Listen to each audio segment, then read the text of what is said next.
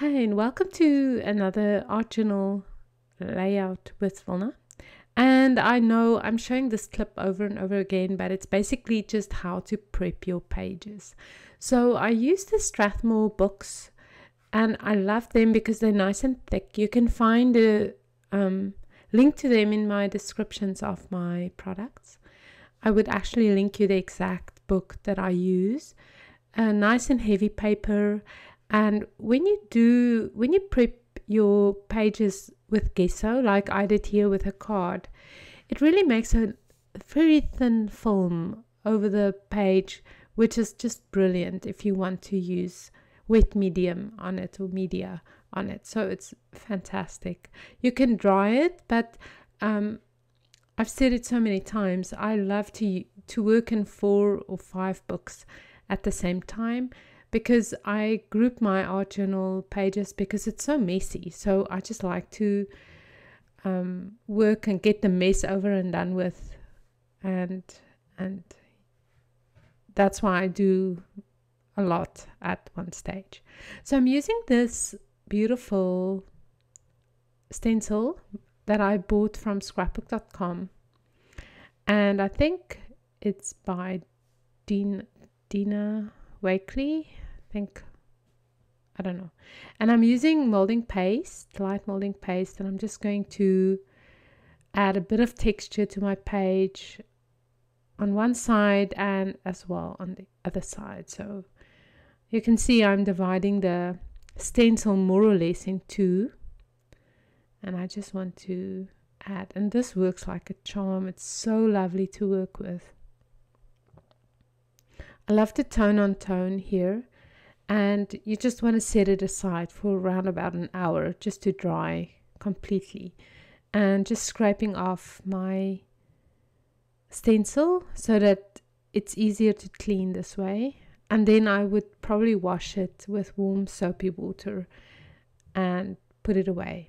Because stencils are one of those lovely things that you can use again and again and again. And I love the polypropylene stencils because you can wash them with water. So that's just lovely.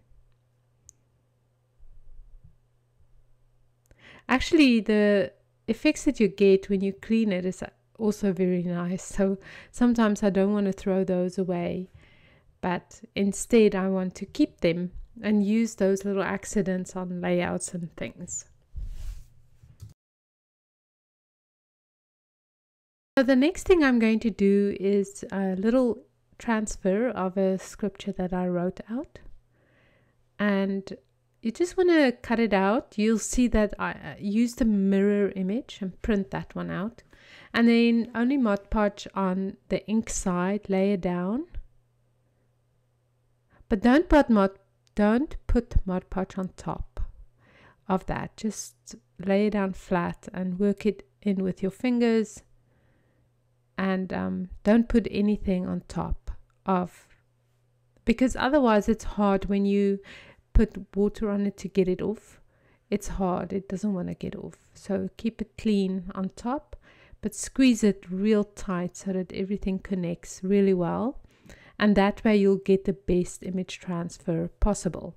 So once that is dry um, we're going to just use a little bit of water and get rid of the paper and then you'll see the the writing will shine through.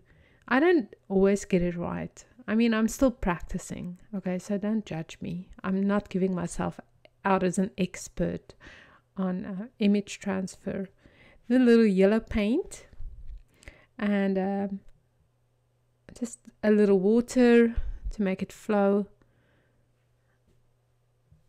and I love this effect. I, I used it in on a previous page and I don't see anything wrong with repeating yourself.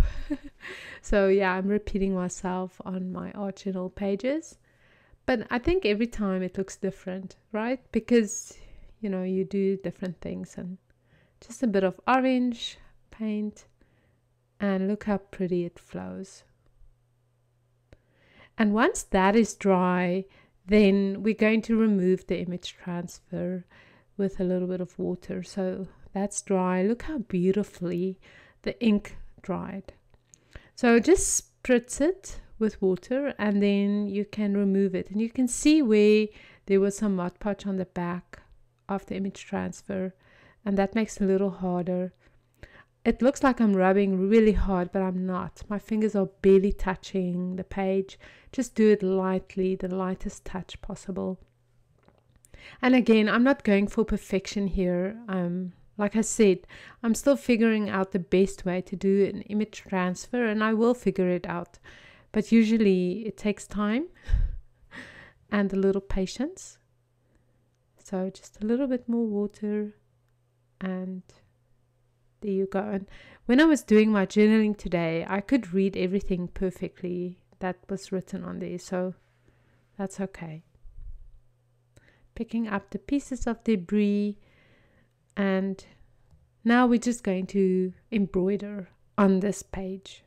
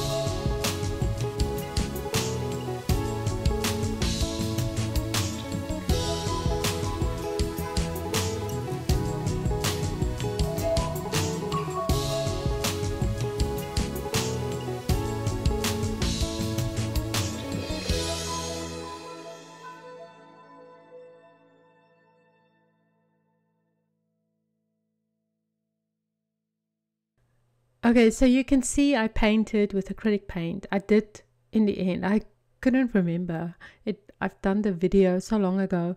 I couldn't remember that I actually painted over the image transfer. Obviously, I wasn't happy with it. Um, but now I'm just coloring in with a orange pencil, just enhancing a bit. And now I'm going to stuck down that same psalm on the same place again uh, just with a little bit of Mod Podge. And really, in the end, that works also actually the best. And no wonder I could have read it well because it was actually uh, just stuck down. And um, I'm just going to blend in the edges um, with a little paint so that it blends in with the page.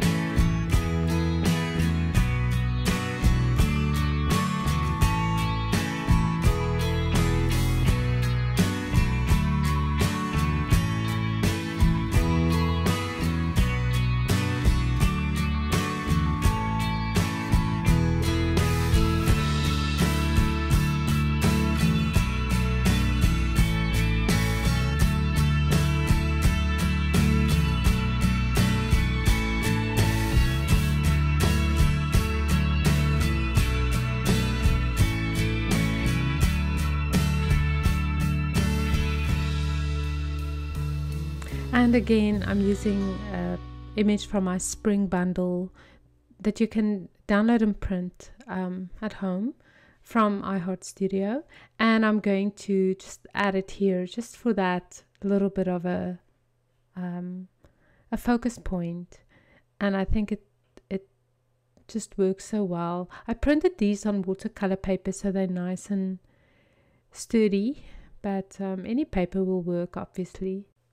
And of course, a little bit of Mod Podge. I just love this stuff. You know what I discovered is you can actually uh, write on it.